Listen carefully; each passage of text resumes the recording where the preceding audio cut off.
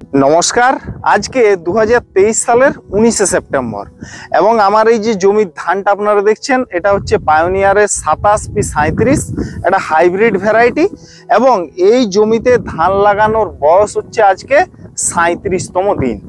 এর আগে এই জমিতে আমি যা কিছু যত্ন পরিচর্যা করেছি সমস্ত ভিডিও কিন্তু চ্যানেলে দেওয়া আছে। আপনারা যারা সেই ভিডিওগুলো মিস করে গেছেন বা এখনও পর্যন্ত সেই ভিডিওগুলো দেখে উঠতে পারেননি, তাদেরকে অনুরোধ করব যে আমি ভিডিওগুলো লিংক আই বটন এবং ডিসক্রিপশন বক্সে দিয়ে রাখছি। আপনারা আগে গিয়ে ওই ভিডিওগুলো একবার দেখে নিন। এরপরে আসি, আমি বত্রিশতম দিনে, অর্থাৎ সেপ্টেম্বরের চোদ্দ তারিখে আমি এই জমিতে প্রথম চাপান সার প্রয়োগ করেছিলাম।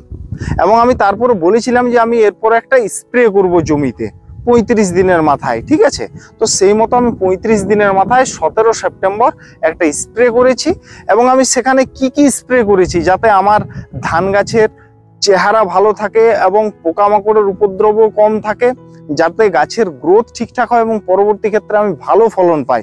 সেই বিষয়টা নিয়ে আমি এরপরে আপনাদের সাথে বিস্তারিত আলোচনা করব। আর যারা এখনও আমার এই চ্যানেলটিকে সাবস্ক্রাইব করেননি, চ্যানেলটিকে সাবস্ক্রাইব করুন, ভিডিওগুলো দেখুন এবং ভিডিওগুলো প্রচুর সংখ্যক মানুষের মধ্যে ছড়িয়ে দিতে সাহায্য করুন। দর্শক বন্ধুরা, আজকে আমার এই ধানের বয়স জমিতে রোপণের সাঁত্রিশতম দিন। এবং এখন যা এই ধানের চেহারা রয়েছে, তাতে আমি সন্তুষ্ট। বৃদ্ধিও ঠিকঠাক আছে পাশ কাটিও কিন্তু ঠিকঠাক এসেছে, আর এখনও পর্যন্ত কোনো রোগ বা পোকার আক্রমণ জমিতে সেভাবে লক্ষ্য করা যায়নি।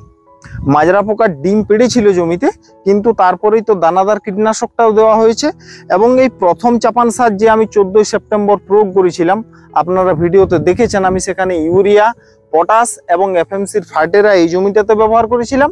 এবং আরেকটা যে জমি রয়েছে একই ধানে সেখানে আমি এই ফার্টেরার পরিবর্তে উইলোড কোম্পানির এক্সোটিকা ব্যবহার করেছিলাম, দানাদার কীটনাশক হিসেবে। এরপরে ওই প্রথম চাপান সার দেওয়ার তৃতীয় নম্বর দিনের মাথায়, অর্থাৎ সতেরো তারিখে আমি আমার জমিতে প্রথম স্প্রে করি। এবং এখানে আমি প্রথম স্প্রে করার ক্ষেত্রে বেছে নিয়েছিলাম ক্রিস্টাল কোম্পানির নিউট্রোজেন পেডি, যাতে আমার গাছের গ্রোথ ঠিকঠাক হয় এবং পরবর্তী সময়ে যাতে আমি ভালো ফলন পাই তার জন্য। এই ক্রিস্টাল কোম্পানির নিউট্রোজেন পেডিটা শুধুমাত্র ধানের জন্যই ডিজাইন করেছে এবং এর সম্পর্কে আমার একটা বিশদে চ্যানেলে ভিডিও রয়েছে। তার লিঙ্কটা আমি আবার আই বটন এবং ডিসক্রিপশন বক্সে দিয়ে দিচ্ছি। আপনারা যারা ভিডিওটা দেখেননি, একবার গিয়ে ভিডিওটা আগে দেখে নিন। এবং এই নিউট্রোজেন পেডির সাথে আমি একটা কীটনাশক ব্যবহার করেছি। যেটা হচ্ছে ইউপিএল কোম্পানির গুন্থার যার কম্পোজিশন হচ্ছে নুভালিউরেন এবং এমামেকটিন বেঞ্জয়েট। আপনারা যেমন যে কোনো ফসলের ক্ষেত্রে কি করেন পিজিআর ব্যবহার করেন প্ল্যান্ট গ্রোথ রেগুলেটর সেই রকম এই যে নুভালিউরেন টেকনিক্যালটা এটা হচ্ছে আইজিআর অর্থাৎ ইনসেক্ট গ্রোথ রেগুলেটর মানে সমস্ত ধরনের পোকামাকড়ের উপরে নিয়ন্ত্রণ পাওয়ার বা আনার চেষ্টা করে থাকে। এবং তার সাথে এমামেকটিন বেঞ্জয়েট আছে। এটা যদি আপনি ধানের জমিতে স্প্রে করেন, তাহলে কি হবে? আপনার মাজরা পোকাও দমন হবে।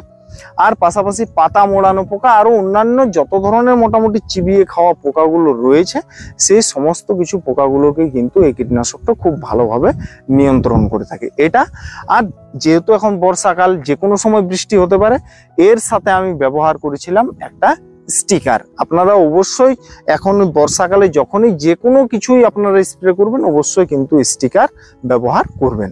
চলুন, এরপরে কোনটা কত পরিমাণে আমি ব্যবহার করেছি একটু দেখে নেওয়া যাক। প্রথমেই ইউপিএল কোম্পানির গুন্থার এটা আমি প্রতি লিটার জলে তিন এম হারে ব্যবহার করেছি। আপনারাও যদি ধানের জমিতে এই গুন্থার ব্যবহার করেন, তাহলে প্রতি লিটার জলে তিন এম হারে ব্যবহার করবেন। বাংলাদেশেও কিন্তু এই ইউপিএল কোম্পানির গুন্থার একই নামেই পাওয়া যায়। আর যদি আপনারা ইউপিএল গুন্থার হাতের কাছে না পান, তাহলে আপনারা এর পরিবর্তে আদামা কোম্পানির ব্যারাজাইট এই কীটনাশকটাও কিন্তু একই পরিমাণে ব্যবহার করতে পারেন। আর এই টেকনিক্যালের অন্যান্য ব্র্যান্ডেরও আপনারা কীটনাশক ব্যবহার করতে পারেন, তাতে কোনো সমস্যা নেই। কিন্তু চেষ্টা করবেন যাতে ভালো ব্র্যান্ডের হয়। এই বিষয়টা একটু মাথায় রাখবেন। এর সাথে আমি ক্রিস্টালের নিউট্রোজেন পেডি, এটা আমি ব্যবহার করেছি প্রতি লিটার জলে দুই এম এবং এক পাতা করে স্টিকার যার পরিমাণটা ওই মোটামুটি পাঁচ কি দশ এম হবে, সেই স্টিকারটা আমি এই তিনটা একসাথে মিশিয়ে আমি আমার জমিতে স্প্রে করেছি। আর একটা বিষয় বলি, এই দেখুন আমার জমিতে আমি প্রথম চাপান সার প্রয়োগ করেছি, তার তিন দিনের মাথায় ধরুন নিউট্রোজেন পেডি স্প্রে করেছি।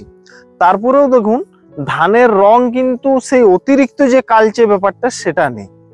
এই সবুজ রংটা কিন্তু ন্যাচারাল রয়েছে।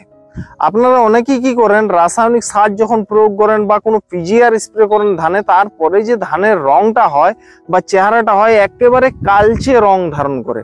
এবং যদি আপনার ধানের পাতার রং একেবারে কালচে হয়ে যায়, তারপরেই কিন্তু সেই জমিতে ফাঙ্গাল অ্যাটাক বা ব্যাকটেরিয়াল অ্যাটাক এই অ্যাটাকগুলোর সম্ভাবনা কিন্তু বেড়ে যায় এবং পোকার আক্রমণও কিন্তু বেড়ে যায়। এই বিষয়গুলো কিন্তু আপনারা একটু মাথায় রাখবেন। দর্শক বন্ধুরা আর একটা কথা।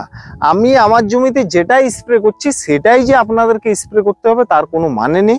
আপনার জমির কন্ডিশন ফসলের চাহিদা, সেই সমস্ত কিছু বিষয়গুলো দেখে আপনারা স্প্রে শিডিউলটা নির্বাচন করবেন। এটা আপনাদের সম্পূর্ণ নিজস্ব ব্যাপার।